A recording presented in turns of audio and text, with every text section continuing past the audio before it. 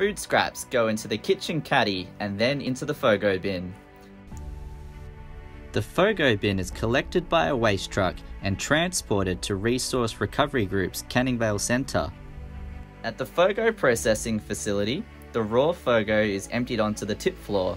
It is sent through the shredder to gently break open caddy liners to release the food content. It is then screened to remove any unwanted contamination.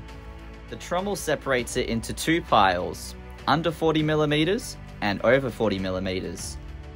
The over 40mm component is left to break down for another 24 hours, sent through a picking line to remove any contamination, and then re-screened.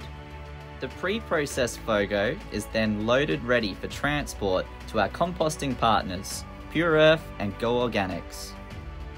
At Pure Earth, the FOGO material is mixed with other components such as garden organics, chicken manure, and other organics.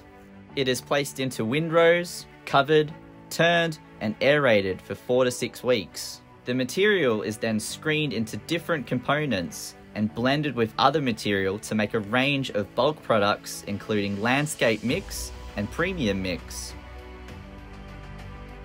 When the FOGO material is transported to Go Organics, it is unloaded and then put into windrows where it is aerated and turned to allow composting at 60 degrees Celsius for 8 weeks. The compost is then screened, graded, and sorted for application. Ready to use product is bagged by an automated process and transported to retailers ready for sale and use. Our FOGO waste has now been composted and has gone full circle. The FOGO derived products are great to grow veggies in the garden.